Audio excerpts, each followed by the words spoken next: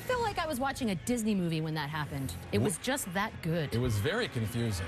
Gotta say those was sort of good. things. I thought it was good. You thought it was all right. Better play. What do you think? Well, no, gotta- we don't actually get a say. We're just guessing. I gotta go with the dunk here. all right, I'm going No to doubt disagree with about you. that. So there we have it. Nice card movement. I'm going to actually go with the trick play because that's what I want. Sadly, you'll never know. Up to What's you ne- guys. What's next? That that just happened. All I right. just can't help myself. I take it you're going with the soccer play. I am totally going with the soccer play. Yes, Eric is my man. So here we go. Even and I also, though- I also love the tattoo. I, well, who doesn't love a good tattoo? I'm actually going to agree with you on this one. No offense, Bernadina. Up to you, though. Remember, go vote. That's What's right. next? Thomas, so he was definitely the guy.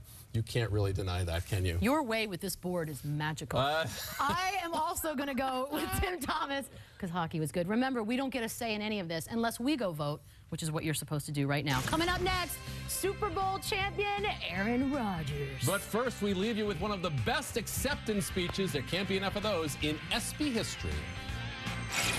We are back here on the ESPY nomination special. Look who's here. Super Bowl MVP Aaron Rodgers. Just the one, You right? get the whole, were you getting the belt thing down?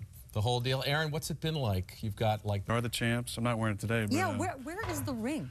a guy who's a real champion doesn't need to advertise the fact But that I would a have it in my pocket just to, hey, look what I have. yeah, I, I actually I lost it in, in the luggage. Hopefully the airline gets it sent over. that you guys were fitted for by your coach the night before the Super Bowl. How much did that gesture help give you guys confidence going into the big game? I think that's Mike's personal. Well, apparently. Bridge. Now, bridge. there- here's have to have the a deal. bridge partner. Bridge, okay. Well, Well, it's, a, it's a team game. That's Yeah. why he succeeded that way. The, the New Orleans Saints were the defending champs last year's ESPYs, and they showed up in big numbers on stage on the red carpet. What can we expect from the? First get together last year in September. The cowboy hat and mustache question. I like there. the cowboy hat. I don't know about the mustache. Well, you know, Aaron beat. Well, it grows on you. There you go. Aaron Literally, is not just a record label president, aren't you? You've started your own record label. What led you to do something like that? Well, it's been going me and my business partner to, to put this thing together. And, uh, you know, it's just. Already said to like your, your band, have you already said, I don't hear a single? Or you haven't recouped your investment or Is something that, like oh, that? that is that music You lingo? did- Boy band for us? I'll work on it. Yeah. Okay. It'd be very commercial. For both of you, think? or Just me. I, Yeah. I don't know what this guy likes. You know, it's all, it all. Given the uncertainty going into the next season, how do you, as a team leader, keep your team unified and ready to compete when the bell rings? if not, we'll just be waiting around, uh, you know, enjoying our time.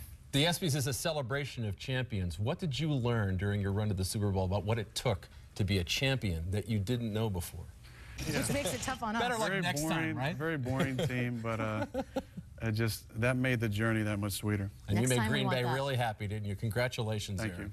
Sequence and rings. We'll see you at the. Is it for us? Believe it or not. Now it's uh, your turn. Yes, please log on to E espn.com slash ESPYs. Vote for your favorites and watch the ESPYs on July 13th. It'll be awesome. The winners will be there in LA. See you in July. Be there too.